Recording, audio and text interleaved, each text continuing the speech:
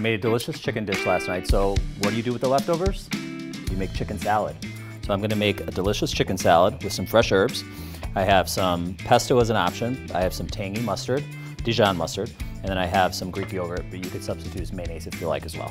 So I have some fresh herbs, like I said, I have licorice tarragon. I have some flat leaf parsley. I'm gonna add some lemon to it and some scallions. So I'm gonna add the fresh herbs to the bowl. Then I'm gonna take our leftover chicken that we had from the night before, I'm just gonna dice it up. We're gonna add that to the bowl. We're gonna give it a squeeze of fresh lemon. We're gonna add our Greek yogurt. Our tangy Dijon mustard. And I'm gonna add just a touch of salt and pepper. With our leftovers, we have a delicious chicken salad and a whole wheat pita with mixed greens. Fast, fresh, at home, simple, and tasty. Bon appetit!